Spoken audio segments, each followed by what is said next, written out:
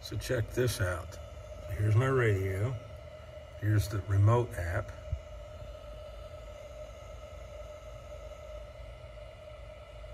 So I can swap my standby. And then if I come up here and hit this, it'll swap it. Look at that. That is so freaking cool. And on the app, oops, I'll get this. So I have a flight plan in it. So I can come on here and I can see, okay, this is my standby. Swap it up there. Okay, here we go. Set that one.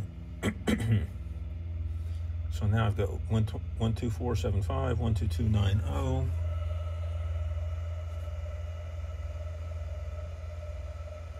Swapping back and forth. That is so cool. Okay. And you can come here because I've got a flight plan in here. So that's my current flight plan. I've added, oh, so right now it picked up the flight plan I had in the EFIS. So I can come through here, it's like, I want to take that one out. So click that, delete waypoint. And I want to take that one out. Okay, so I'm good. Activate my flight plan. And so now that will be in here.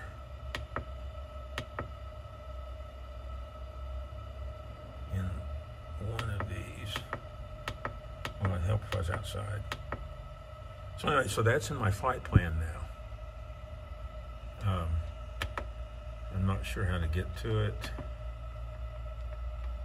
because I'm still working on that. There we go, flight plan. There we go. So there's my flight plan.